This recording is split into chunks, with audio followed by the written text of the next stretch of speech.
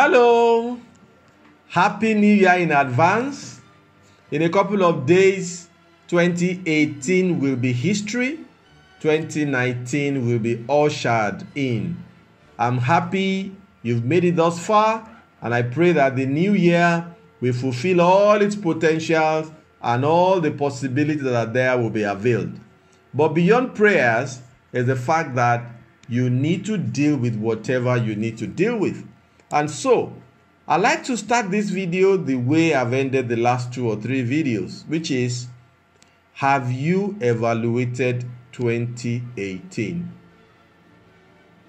Have you identified the gaps? And what steps have you decided to take or are you already taking to make 2019 a better year? Believe me, nobody succeeds by accident. Over the last two years, we have put together this channel.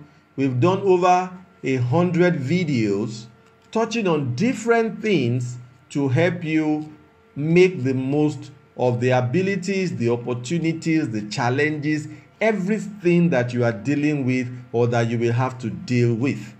It is left to you to make sure that you utilize them to your advantage.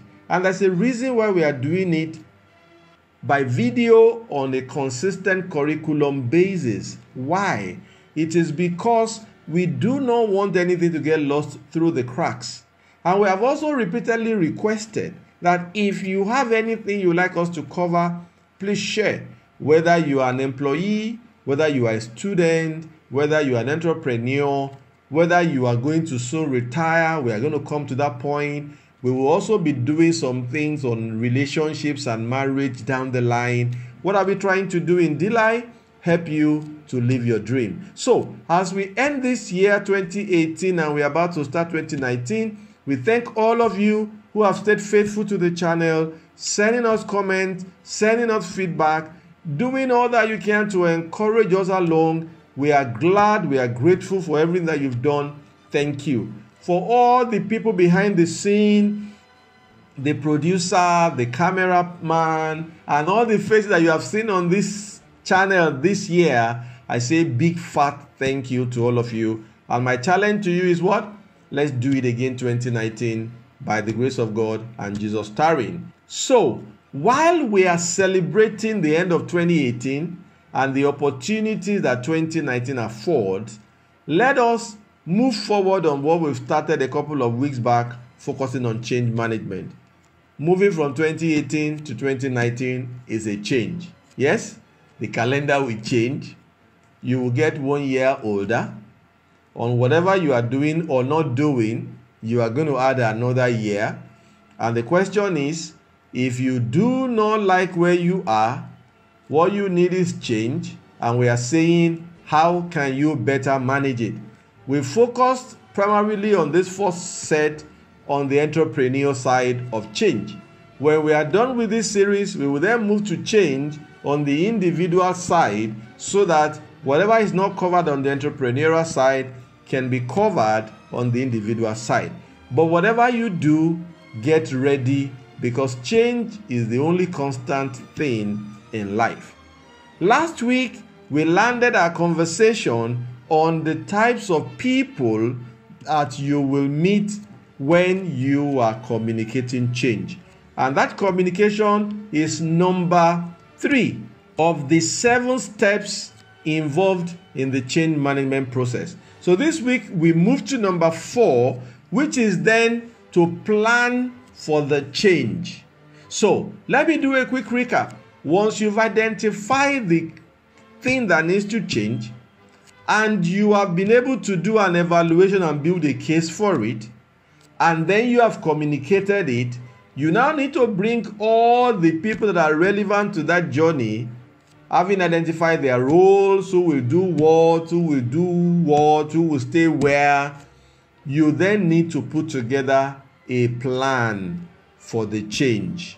So we need to decommission this, we need to commission that, we need to hire this, we need to build that we need to uh, demolish that. Whatever it is that needs to be done you go through a plan. Of course this is a project. Somewhere down the line we will deal with project management.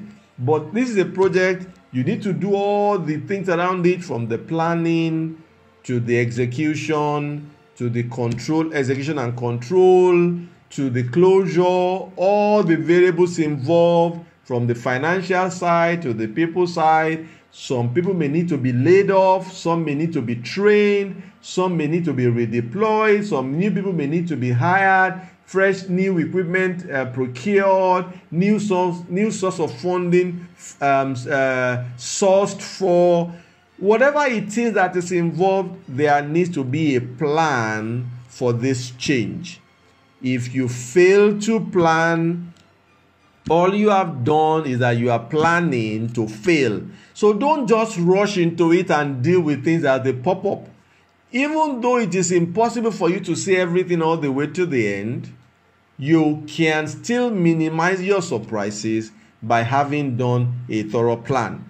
And if you do not have project management competencies in your organization, you need to try to create or to uh, source for either from a consultant or from whatever because it is cheaper compared to the consequences of having a derailed changed agenda, change agenda. Yeah? So you need to make a plan. And then from the plan, you move to the next step, which is then now to execute, monitor, and manage that change.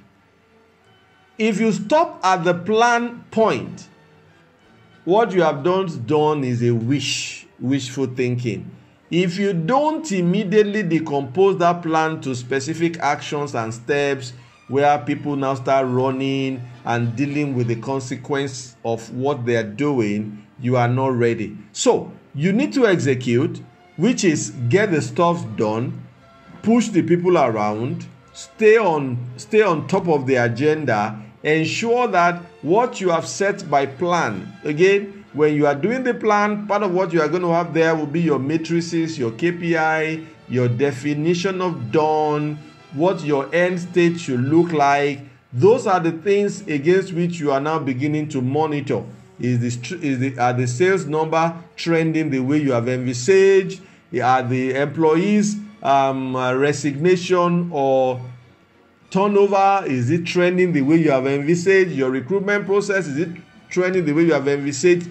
What you find during the monitoring process is what then guides the kind of control that you need to put in place. Remember nobody can control all the variable upfront. So as you encounter them you find um, responses that are relevant you find the appropriate reactions to, to, to all those scenarios so that you can keep all the activities on course towards achieving what exactly you have meant to achieve. Like I've said at the beginning of this series, I do not want to go too long winded, particularly because this is the festive uh, period. So, as you prepare, or if you are watching this into the new year, I say happy 2019 to you once again. And the challenge is that let's ensure that we make 2019 a better year than 2018 or than any year that we have lived. Thanks for being here 2018. We look forward to seeing you in 2019. And until we see you in the new year, don't ever forget that T-Mac is still my name and all I'm trying to do is what? Make a little difference. Thanks for being here this year and have a most wonderful 2019 in advance. Bye.